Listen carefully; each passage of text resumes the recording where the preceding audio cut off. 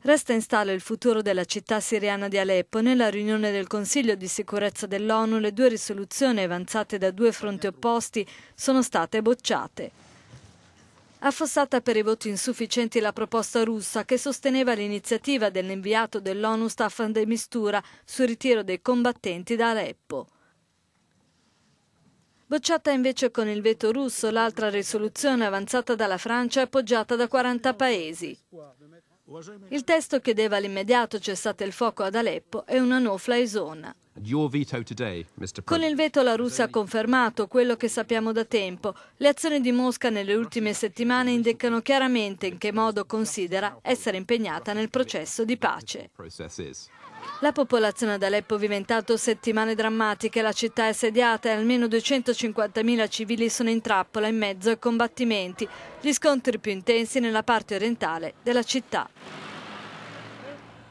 Sappiamo che nei quartieri nell'est di Aleppo i centri ospedalieri non funzionano, i medici non riescono a salvare tanti bambini che sono in terribili condizioni, non possono far altro che lasciarli morire. Bisogna fermare subito le violenze e in seguito dobbiamo essere pronti immediatamente a fornire aiuti anche nell'est della città.